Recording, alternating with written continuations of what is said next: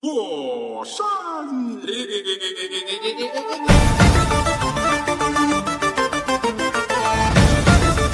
Hi friends! So we would like to welcome to our YouTube channel Seesaw. So we will first introduce ourselves. So please start. I am Shreya. My name is Arpita. I am Anushka. My name is Adrija. So we will today share with you all the thoughts and contents of our YouTube channel.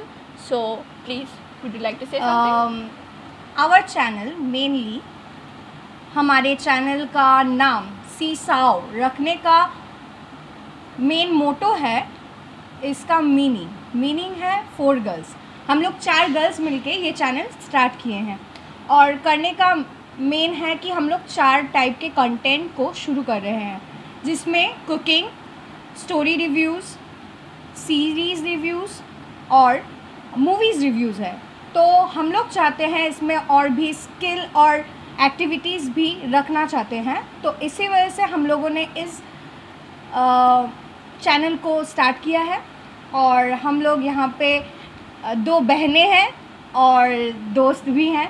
तो इसी वजह से हमारे channel का नाम four girls और सीसा रखा है।